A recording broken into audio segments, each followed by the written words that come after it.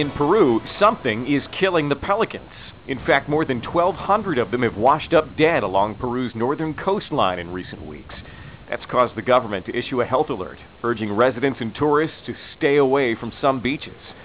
Oscar Dominguez, head of Peru's Ministry of Health, said experts have ruled out the bird flu. The testing is being done, but the health alert will remain in place while the investigation continues.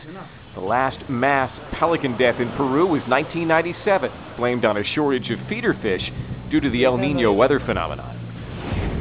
And that's our story. Thanks for watching. From our broadcast center in Bogota, Colombia, I'm Brian Andrews. Remember, find me on Facebook, Brian Andrews NTN24, and follow me on Twitter, at Brian Andrews.